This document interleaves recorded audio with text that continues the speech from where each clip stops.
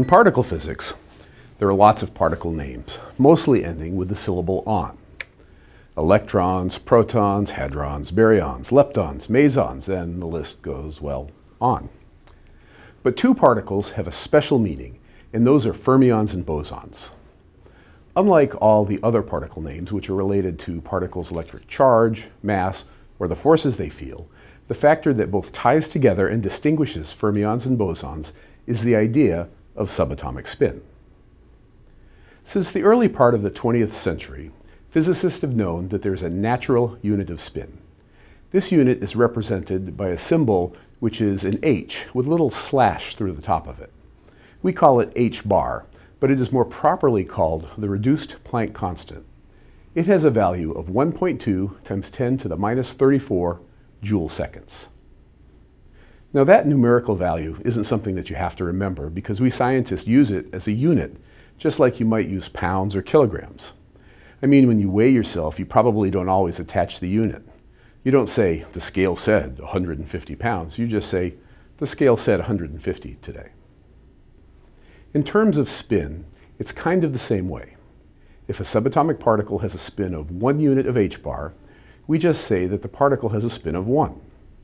If it has a spin of four units of h bar, we say that the particle has a spin of four. When we talk about fermions and bosons, they represent different classes of particles, and they're distinguished by their spin. Bosons all have a spin that is an integer multiple of h bar.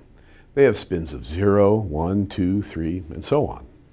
In contrast, fermions all have half integers of spin, specifically a half, three halves, five halves, etc. So you might wonder if there are other possible values of spin, say a third or a quarter or something like that. The answer seems to be no. We have never observed any particles with any value of spin other than an integer or half integer. Now, you never say never in exploratory physics, and it may be that we'll find some new particle governed by new rules, but we probably won't. The reason I say that is that we can tie the spin to the mathematics that describes the particles. The technical term for the mathematics is called the wave function, but there appears to be just two possible forms. In one case, the equation of the particle seems to be symmetric, which means that if you flip it around the center, it looks just like it did before the flip. In the other case, the equation of the particle is antisymmetric, which means if you flip it around the center, it's the opposite. This has real consequences when you're trying to do calculations, but you'll have to trust me on that one. Bosons, the particles with integer spin, are described by symmetric wave functions, while fermions, their half-integer spin cousins, have antisymmetric wave functions. If fermions and bosons are different kinds of particles, they must have different properties, right? How are they different? Bosons are the puppies of the subatomic world. The more, the merrier. You can have an unlimited number of bosons in the same place at the same time. In contrast, fermions can be thought of as subatomic cats. They're standoffish. Two identical fermions cannot be in the same place at the same time. If you ever took a chemistry class, you probably encountered the Pauli exclusion principle, which explained why atomic orbitals are the way they are. It boiled down to identical electrons cannot exist, and since electrons are examples of fermions, it all hangs together. In the particle physics world, all of the particles of matter, the quarks and the leptons, are fermions. In contrast, the particles of force, the force-carrying bosons are, well, of course, bosons. Quarks and leptons all have a spin of a half. Well, technically, since they can spin clockwise or counterclockwise, they can have a spin of plus a half or minus a half.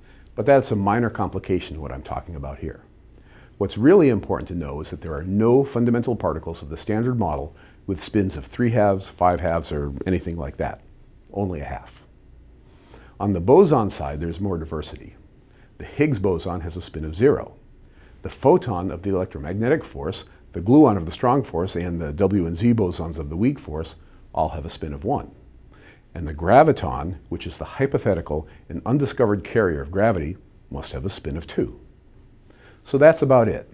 You have the gregarious force-carrying bosons and the standoffish matter fermions.